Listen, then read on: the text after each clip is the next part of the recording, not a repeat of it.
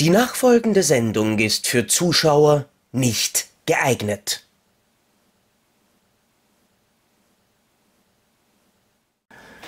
Du, äh, was machst du da mit diesem Sword? Kill!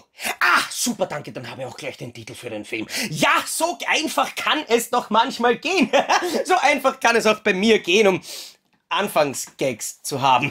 Aber ganz im Ernst, Swordkill ist tatsächlich ein recht unbekannter Film, der zwar hierzulande auch einige DVD-Auflagen spendiert bekommen hat, aber international unter dem Titel Ghost Warrior bereits ähm, nur in Amerika in High Definition ausgewertet wurde. Jetzt gibt es hier eine österreichische DVD-Premiere von NSM, natürlich in verschiedenen Coverversionen und NSM hat hier auf Facebook übrigens interessanterweise ähm, einen Bildvergleich gepostet zwischen dem alten HD Master und ihrem HD Master. Und auch wenn das natürlich sehr schwer ist, das alleine aufgrund von Facebook-Bildern zu beurteilen, aber es macht tatsächlich den Eindruck, als wären die Texte im NSM Master wirklich deutlich schöner. Auch die Farben machen ein bisschen einen kräftigeren Eindruck. Es ist natürlich sehr schwer zu erkennen, ob das ein oder andere jetzt tatsächlich auch auf ein bisschen DNR zurückzuführen ist, aber grundsätzlich macht das Bild einen sehr guten Eindruck, was jetzt eben tatsächlich auch für mich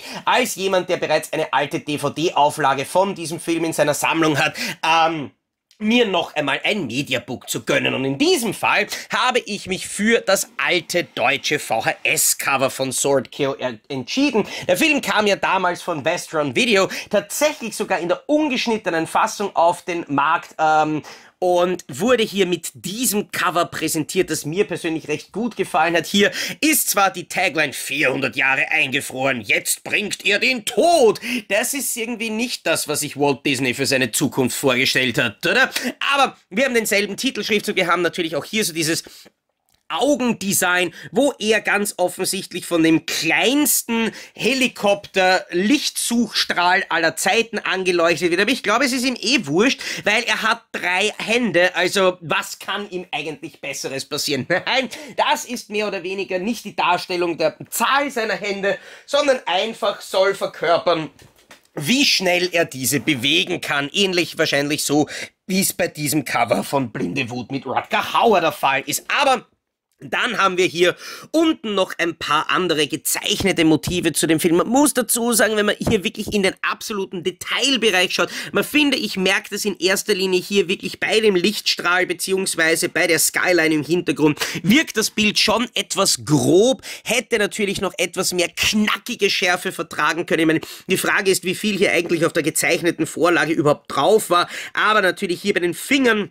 sieht man schon auch ganz deutlich, dass hier ein bisschen ein groberes Bild vorliegt. Hier gibt's auch ein paar kleinere, verwaschenere Dinge, aber es ist jetzt wirklich nichts, worüber man sich aufregen muss. Es ist halt aber auch jetzt nicht unbedingt eine Druckqualität, wo man sagt, ja passt, machst mal null Poster davon, bitte, danke. Aber wir schauen dann einmal auf den Spine. Bei dem hat sich NSM diesmal, finde ich, wirklich wieder wahnsinnig viel Mühe gegeben, denn da haben wir tatsächlich eben die Fortsetzung vom Frontcover Artwork. Sowas ist immer etwas, mit dem man mich leicht begeistern kann. Außerdem natürlich auch mit so etwas aus, auf dem Backcover. Das schaut ja mehr oder weniger aus wie eine äh, japanische Ninja-Version von der Nussknacker, oder? Das ist absolut genial. Außerdem dann natürlich hier Die Inhaltsangabe zum Film, wir bekommen noch ein paar Bilder, ähm, Cast and Crew Angaben, technische Details und dann natürlich die individuelle Limitierungsnummer von den äh, 333 Stück im Fall von diesem Mediabook.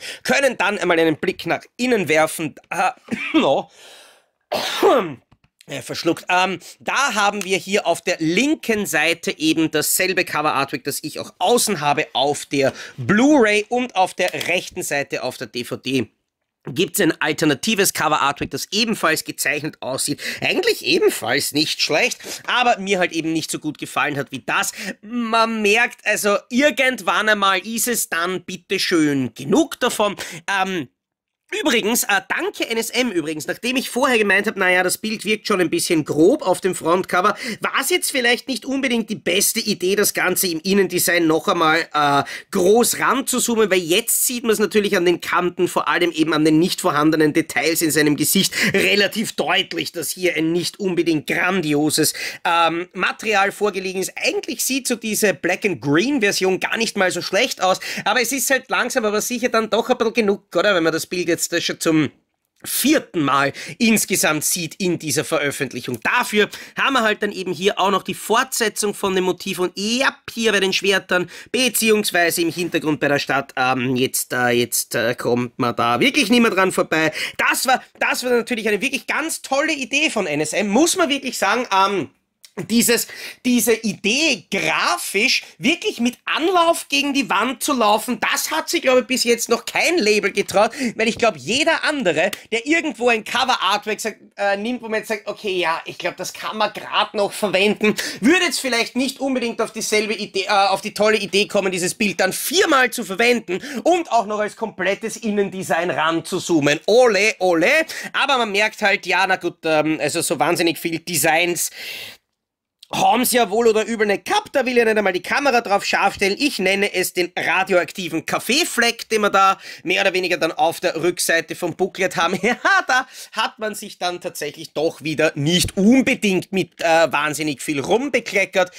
Wobei das vielleicht schon, ich weiß es nicht. Aber wir finden dann eben im Inneren wieder ein paar Bilder aus dem Film. Hier eben zum Beispiel ähm, recht cool eigentlich das Cover Artwork, was wir dann auf der DVD gesehen haben, dass das eigentlich von der Soundtrack-CD ist. Das finde ich eigentlich ganz nice. Außerdem gefällt mir hier im Inneren ein bisschen die Auswahl von den Bildern. Das Ganze hat auch eine recht ansprechende Druckqualität, muss man dazu sagen. Der Text wirkt halt relativ 0815-mäßig, aber das ist halt eben bei den Mediabook äh, Booklets von NSM immer so.